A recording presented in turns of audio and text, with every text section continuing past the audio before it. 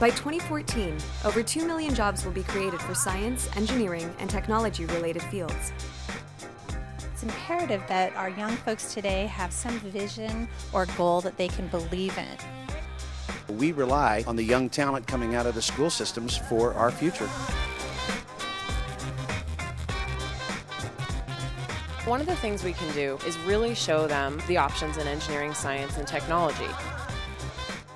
Our strategy needs to be to showcase these professionals and let their passion for their jobs really shine through to engage our students. Engineers do really exciting projects that are really changing the world, and I think they need to see that.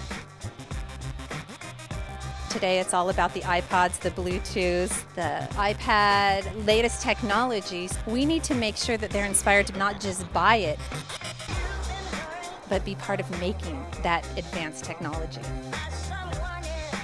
The youth will enjoy learning experiences more if we design activities to use with their mobile devices. We're living in a digital world.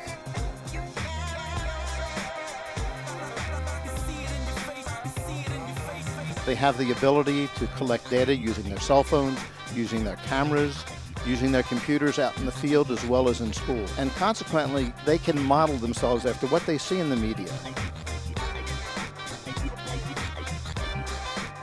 Children are not getting a lot of input in schools or at home, and the opportunity to portray this kind of content and career information in entertainment can provide an enormous advantage. The movie makers of tomorrow are going to be the A math students of today. Whether it means doing different types of projects or working with people in industry, make math and science fun. Mattel now has Barbie in her profession as a computer engineer. This is the first year where we're starting to really see those female role models out there. Our audience is our messenger. In today's social media world, if we can educate and equip our audience with the information, they can, through social media, spread the word.